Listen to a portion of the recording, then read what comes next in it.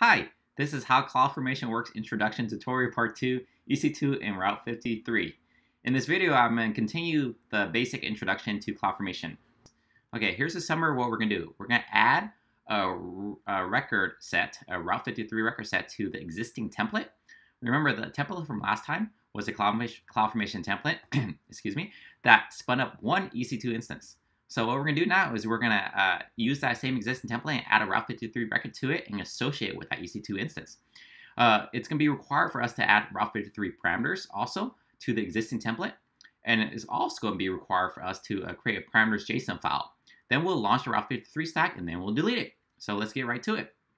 This video is based on this blog post entitled A Simple Introduction to AWS CloudFormation Part 2, EC2 Instance and Route 53.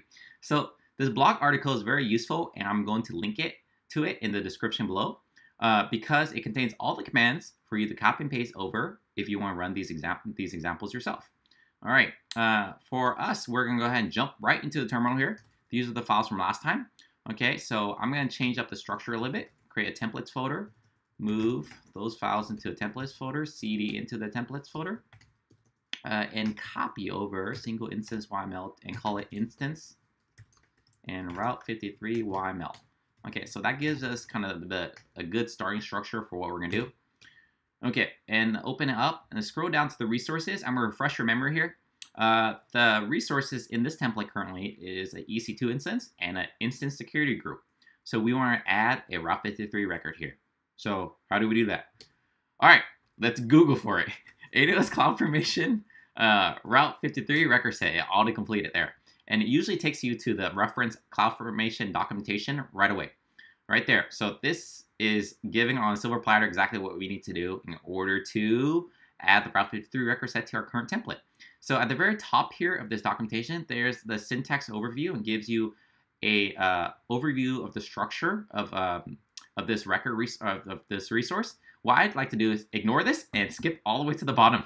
so at the bottom there is uh, is actually a concrete example here. So I take that and I usually go in here, then literally copy and paste it in here, and then I look at this and then I uh, massage it to my needs. So for the sake of this uh, video tutorial, I'm just gonna go grab the finished copy here and paste it in to save uh, time. Right there. And so you're gonna pretend that I, I massaged that to our needs here. Okay, so let's review this. DNS record, that's uh, what I've added. And inside this resource, there's a reference to hosted zone name and subdomain. So what's that? Those are the required parameters I was talking about earlier that we also need to add to this CloudFormation template. So let's go grab that. Uh, somewhere here. There we go.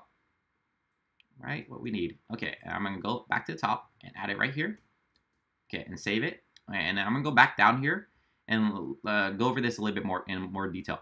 So this is the resource we just added. And notice here the name is basically the value of the DNS record that we're going to add. And is using what's called a CloudFormation intrinsic function join here to join the subdomain and the hosted uh, zone name.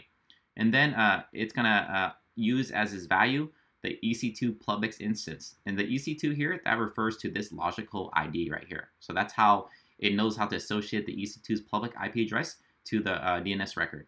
And since we need a hosted a zone name here, we're let's go create that now. So we'll go here to services. Under Route 53 is under network. And we need to create example.local. Okay, oh, I've already created here. I'm going to go ahead and delete it and then kind of create again just so you can see um, how it works, okay, how to create it. So I'm going to create a private host name and call it example localhost or local. Just use the same thing for comment. Use my uh, VPC. I'm using the default VPC in the US West region right now. Go and click create. And that should, there, we have it. We have it created now. So now at this point, we can successfully launch this stack. So let's go and grab the command uh, straight from the blog tutorial right here. Uh, okay, so in this actually, this is the long command here. And what I'm saying the, in the tutorial is that command becomes a little bit long. So what I'm going to do instead is create a params file. Um, make directory parameters, uh, touch parameters, and call it instance and route53.json and open that up in Sublime and paste this in. So you'll see the key pairs tutorial instance types, uh, that T2 micro, And the subdomain, oh, it's this is the O value. So let me, I just need to update the post. Let's use example.local and a test subdomain. And the reason I'm using example.local instead of uh, your own, uh, uh, uh, my own DNS record is because I own that one, and also you don't have to pay for it because this is free. Okay, so at this point, we should be able to go ahead and launch the the the the uh, EC uh, the stack. So let's go down here and right here, we should be able to grab this and launch the stack right here. Okay, so bam, let's see what happens here. Okay, stack is being created. So let's go verify that stack was created uh, by looking at the uh, AWS CloudFormation console. There, create in progress. So we can click on that, highlight that. And when you highlight that line item, um, it's very useful to hit this tab here, events, so you can see what's going on. So while that's spinning up, it's gonna take some time. I'm gonna go back and actually review this code again with you guys. Okay, so color diff, mm, templates, single instance YML versus templates, and the new one is called instance and Route 53 record. Let's see what that looks like. So this is just a, a, a nice uh, code diff of what we changed. We added a host zone name and a subdomain parameter. And we also added a resource. We titled it, we called it DNS record, and it's a record set, is Route 53 record set. So that uh, so that is spinning up. Okay. Um, so let's go ahead and see where the stack is, what the progress of the stack is. So it's still spinning up there, and it's gonna take a probably minute or so, and that should spin up. While that's spinning up, I'm also gonna open up uh, Route 53 in another tab here. So we can see that uh, cloud from uh, the record being added eventually. And look, you actually is are being added. I can see a record set count of three. So I click on this. You'll see up oh, test domain example.local. Let's go here to CloudFormation again and we refresh here and it should uh, be completed. Oh, it hasn't reflected yet. So CloudFormation is still registering that and that should be reflected soon. But as you can see that, oh, there we go. I just have to be patient. AWS has made me extremely impatient. That's what they've done to me. Um, the stack launched at 33.42 and it finished at uh, 35.12. So basically it took two and a half minutes. Very fast. Okay, so that's uh, done. Let's go review.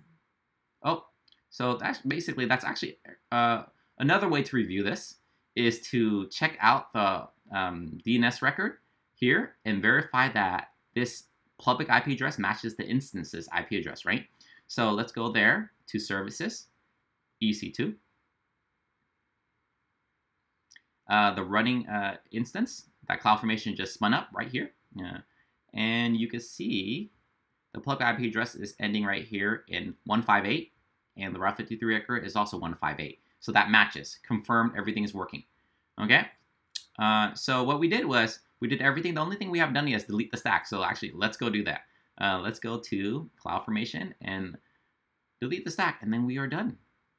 Action, delete stack, done. So that's going to delete itself. So let's review what we did.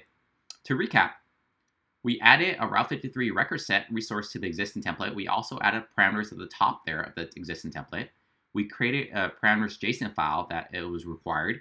Uh, and then we launched the stack. We reviewed, verified everything, and then we deleted the Route 53 stack, right? There are some references here. This is actually a part of a blog series, a tutorial series. Um, the links to uh, all the blog posts are here provided. I hope you've enjoyed this video. Uh, if you enjoy content like this, be sure to like it to encourage more content like this. If you have any questions or you have any other video suggestions, feel free to comment below. And if you need any DevOps help, check out BoltOps. Thanks, guys.